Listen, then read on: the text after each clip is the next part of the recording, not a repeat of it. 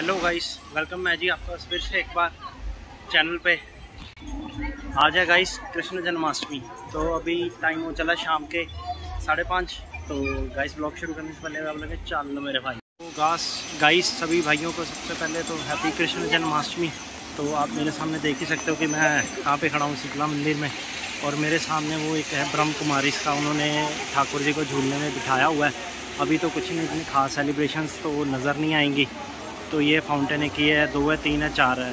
तो तो रश अभी से गाइस थोड़ा सा काफ़ी अच्छे देखने को मिल रहा है तो मौसम भी एकदम से देख लो गाइस अच्छा हो रखा हुआ है। यहाँ पे देखो गाइस देख सकते हो गाइस अभी एलसीडी वाले ये फिटिंग कर रहे हैं भैया।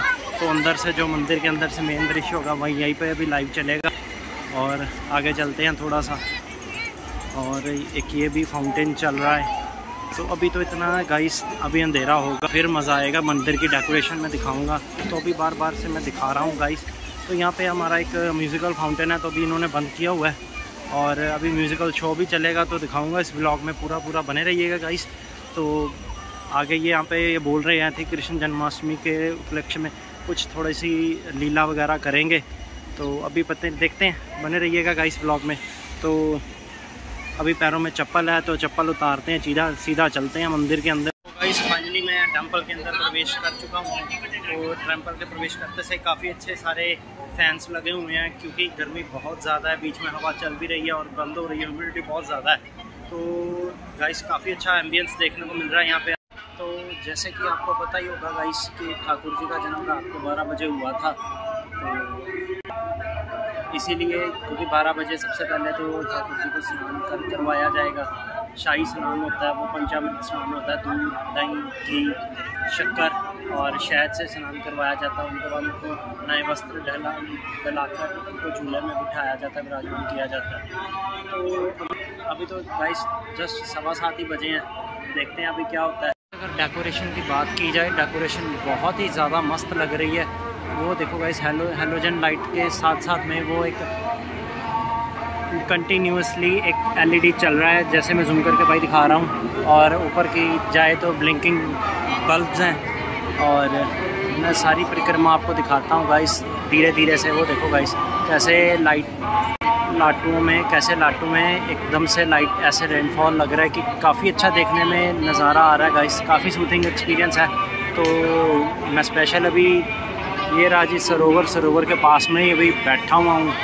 तो वेट कर रहे हैं अभी तो काफ़ी देख रहे हैं अभी कितनी अच्छी सजावट हो रहा जी मेन मंदिर। क्या बात है भाई। तो इसको मिनी गोल्डन टेंपल भी बोला जाता है। तो आज की जन्माष्टमी यहाँ पे काफ़ी अच्छी देखने को मिलेगी। और ये देखो भाई अंदर का नज़ारा। तो अभी अंदर चलेंगे तो दिखाएँगे आपको। और अगर बात की जाए तो बच्चे अपने छोटे बच्चे, ये देखो गाइस एक छोटा बच्चा मेरे को दिखा जो कृष्ण बन के आया हुआ है तो इस दिन कृष्ण बन के भी आया जाता है। तो गाइस हुआ कुछ ऐसा हुआ है कि थोड़ा सा तबीयत तो मैं थोड़ा सा ख़राब था, नहीं तो आपको और अच्छे दिखाता। डेकोरेशन लोगों ने हिंडोले भी डाले हुए हैं अमृतसर में। तो काफ़ी अच्छी तरीके से हम जन्माष्टमी यहाँ पे अमृतसर में भी मनाई जाती है। तो बने रहिएगा गाइस ब्लॉग में, बहुत मज़ा आएगा। जितना भी हो सके मैं आपको दिखाऊँगा पूरा कि क्या क्या नहीं क्या क्या रिचुअल्स हैं हमारे तो कैसे उनकी पूजा होती है और सब इस वीडियो में आपको मैं बताऊँगा गाइस देख ही सकते हो, जहाँ पर भी मेरी नज़र जा रही है, क्या बात है भाई डेकोरेशन ही बहुत ज़बरदस्त नज़र आ रही है। तो पिछले साल तो कोविड में इतनी ज़्यादा डेकोरेशंस तो नहीं थी बट फिर भी इस साल इन्होंने काफ़ी अच्छा डेकोरेट किया हुआ है। तो जैसे ही बारह बजेंगे, उसके बाद ठाकुर जी का पूजन करने के बाद यहाँ पे आतिशबाजी का नज़ारा भी शुरू हो जाएगा। तो गाइस देख सकते हो, ये शंडेलिया और ये स्काई ब्लू कलर में है और कुछ वाइट कलर में भी यहाँ देखने में काफ़ी अच्छा नज़ारा लग रहा है। तो देखने लायक है मंदिर का दृश्य।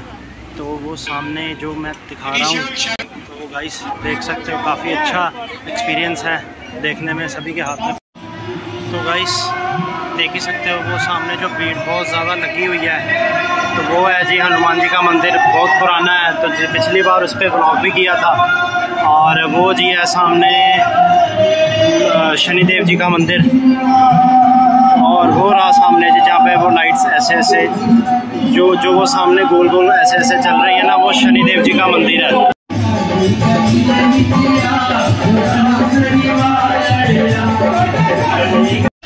गाइस बज चुके हैं रात के बारह। तो फाइनली ठाकुर जी की पूजा शुरू हो चुकी हुई है। और इसके बाद आतिशबाजी का नज़ारा भी आपको दिखाऊँगा इस गाड़ी से इस वीडियो में।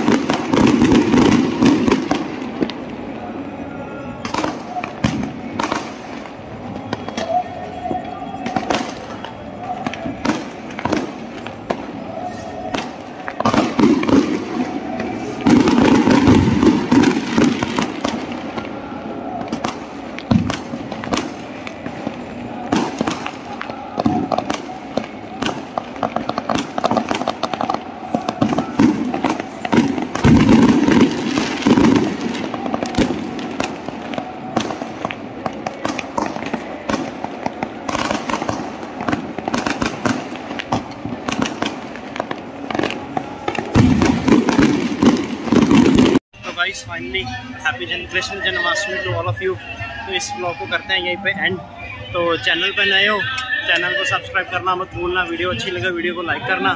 तो जैसे ही कृष्ण जी का प्रागट्य उत्सव हो जाएगा तो आपको पंजीरी का प्रसाद भी मिलेगा, वो भी दिखाऊँगा आपको. तो आतिशबाजी तो वैसे भी दिखाने वाला हूँ. तो चैनल पर है चैनल को सब्सक्राइब करना मत भूलना.